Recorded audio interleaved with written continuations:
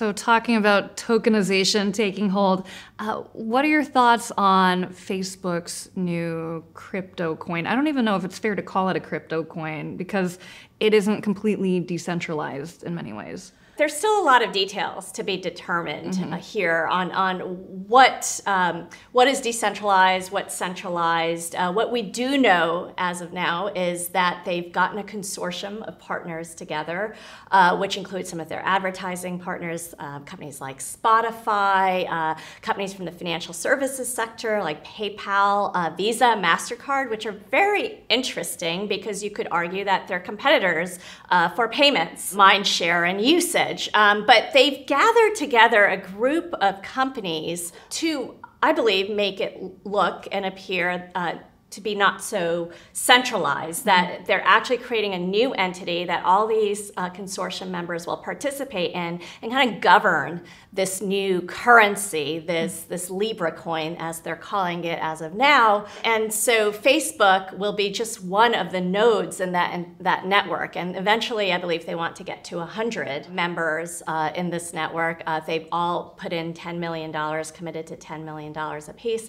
There are also some nonprofit partners, such as Women's World Banking. Um, so they're very much looking to make this appear to be a really global effort focused on kind of banking the, hmm. the 1.7 billion people around the world that are currently unbanked.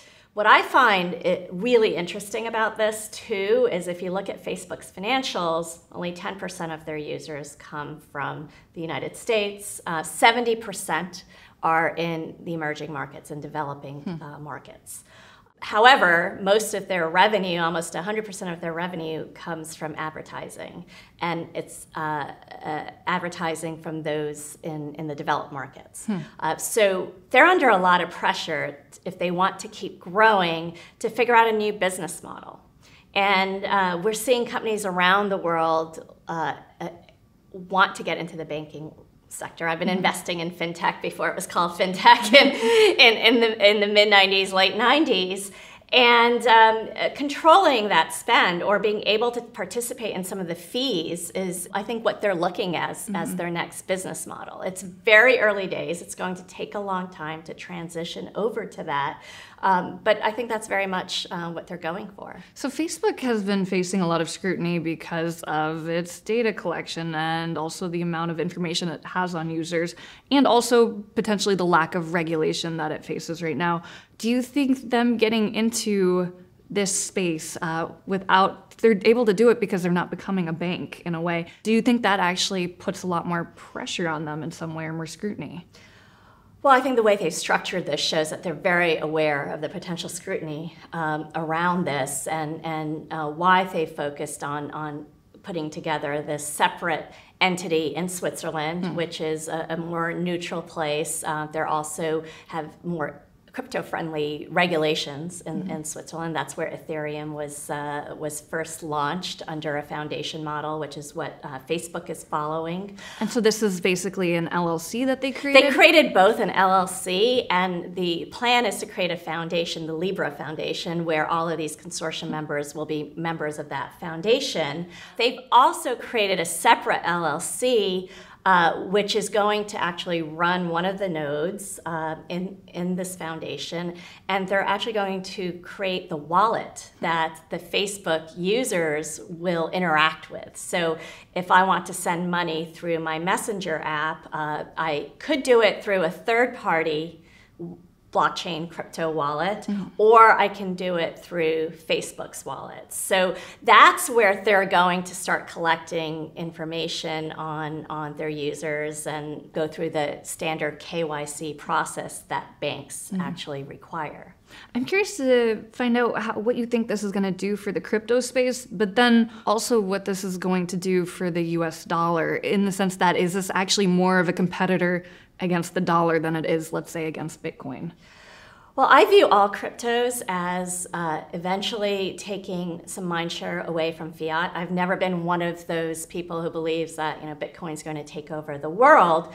But if you give people alternatives uh, mm-hmm. in terms of transacting, and, and this could be governments or it could be the individual, there's going to be less reliance on the US dollar. So you're already seeing countries look at issuing their own um, sovereign digital currency.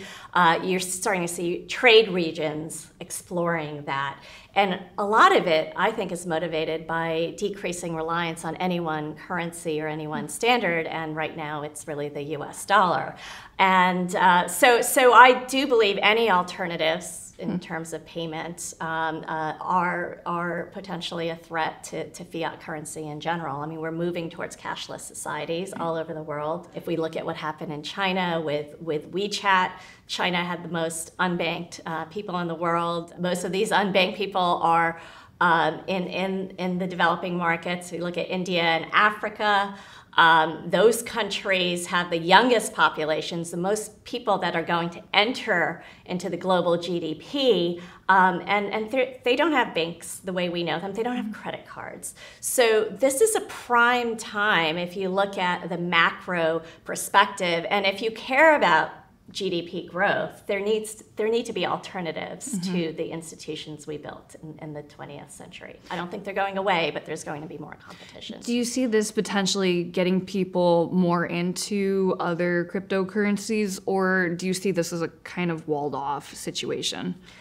Well, I think the fact that I looked at my LinkedIn uh, feed and there were so many people talking about it who mm-hmm. have not commented on cryptocurrency or blockchain before. Mm-hmm. Um, I think it's really captured the attention of, of people who haven't been in the mm-hmm. space. And um, I think that's a good thing. At the end of the day, Facebook has over two and a half billion users around the world. 70% of them are in these emerging markets, right? For crypto and, and blockchain technology to realize its full potential, uh, we, we need to have broader awareness, a better uh, user interfaces. Right mm-hmm. now, it's, it's so challenging to go yeah. out and, and buy. I mean, Bitcoin's a little bit easier, but, but still, if you want to buy other cryptos, uh, you have to go through a long process. If you want to hold your own keys um, and, and control your, the, those uh, cryptocurrencies, uh, it, it, it's you have to remember a long seed phrase, and so I, I view it very much as we're in 1995 internet, and I was lucky enough to be uh, involved in those early days, and and so the parallels are very obvious to me. And we didn't have the e-commerce, um, you know, secured secure ways of buying things online. We didn't have the broadband connectivity mm-hmm. that we have now. We didn't have the mobile connectivity, which has brought you know, all these billions more people online around the world. And, and so we're kind of in that phase with, with crypto. And I can't think of a better way to kickstart awareness around what cryptocurrency is. Mm-hmm. And even if this is just a derivative or one form of it, making people more aware mm-hmm. of, of what this technology can do. It can create faster payments rails, more seamless uh, transfers. Um, you can program it in a way that you know Facebook could offer discounts uh, uh, on advertising to their partners. And there's so many new business models that can be created out of crypto and blockchain technology, and I don't think we've even started tapping into mm-hmm. near the potential because we, are not seeing the usage yet. Do you see any potential risks from Facebook getting into this space? Is there a fallout of maybe they don't do it right and there is a lot of scrutiny, and then that maybe pushes people to stay away from other cryptocurrencies for a while? That that's quite possible. I think we already are a little bit skeptical about Facebook and the way they handle uh, user privacy mm-hmm. and, and data, and and so I take a contrarian approach to this, where I I, I, I want to see them try this mm-hmm. and and and kind of um, have people ask those questions mm-hmm. about privacy, about they're writing their own smart contract language. Why are they doing that? Um, how, well, how's the governance going to work on validating the transactions? How are the partners, what data are the partners going to see, if any?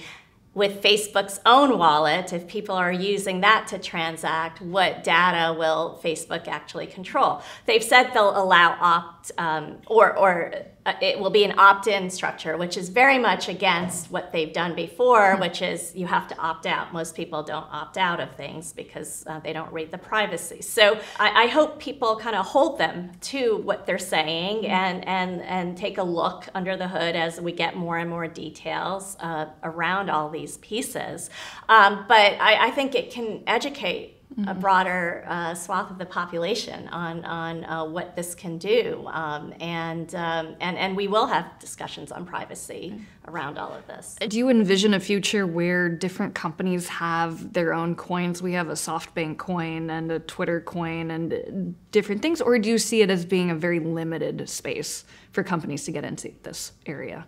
Well, I mean, in, in some ways, we've we've had coins in the form of like loyalty points, and mm you know, it's just we haven't really been able to use them out outside of a company's four walls. Mm-hmm. And and uh, what will be very interesting to see with with this Facebook announcement is how are their partners going to get engaged? So they've said you can potentially use uh, the these Libra coins uh, at a, a, retailer or a, a, you know on another site. And so it's that interoperable piece. And, and then how are you going to get how you're going to cash out on that mm-hmm. if you mm-hmm. want to cash out on fiat. And and and so um, I, I think this consortium idea and, and getting some of these folks involved, it's, it's the first time we're also seeing something go beyond just the, the four walls of a company mm-hmm. and, and see what they can do with partners. I, I think we're still in very early days there.